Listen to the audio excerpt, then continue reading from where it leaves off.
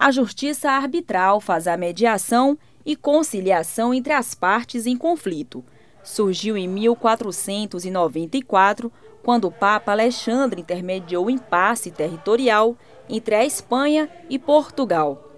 Em 2011, o Conselho Nacional de Arbitragem foi fundado na Bahia. São juízes arbitrais que ajudam a sociedade brasileira e baiana a diminuir a burocracia que há no judiciário, não por culpa de magistrado, mas por causa das demandas judiciais.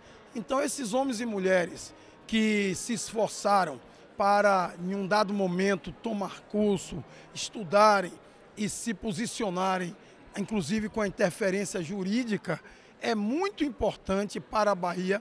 A justiça arbitral é um procedimento legal, mais rápido e seguro para resolver problemas sem a utilização do poder judiciário. Conflitos de interesse, conflitos internacionais, conflitos entre duas pessoas ou mais podem ser solucionados através do CONAJA. O árbitro ele tem um prazo máximo de seis meses, portanto 180 dias para o trânsito em julgado.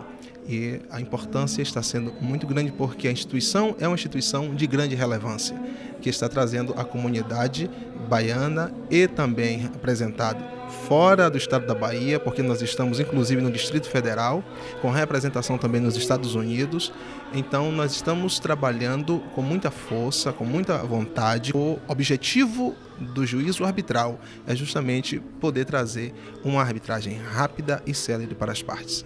O diretor de Assuntos Internacionais, Francisco Estrela, esclarece quem são os árbitros que compõem o conselho. Qualquer pessoa que tem interesse em é, dirimir conflitos, mas era, é, para lidar com o direito público é necessário que o indivíduo conheça de leis, conheça, tenha um domínio. Por quê? Porque para se lidar com a nova nuance da arbitragem dentro da administração pública, é preciso que ele conheça a legislação, porque só é permitido lidar com a administração pública quando você trabalha com a área de leis.